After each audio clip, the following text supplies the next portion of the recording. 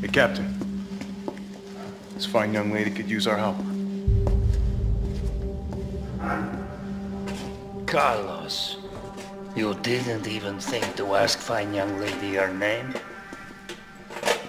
She is an elite operative of RPD, Special Tactics and Rescue Service.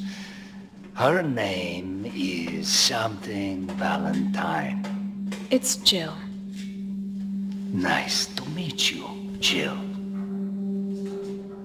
I am UBCS platoon leader Mikhail Viktor. My team was sent here to rescue civilians.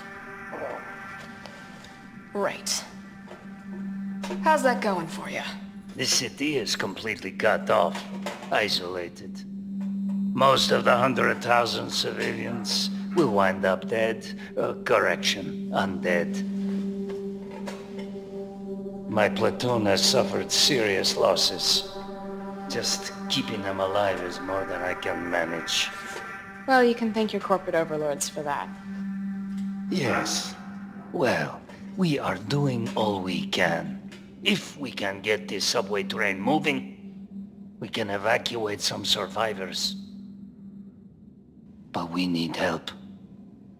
My men cannot do this alone.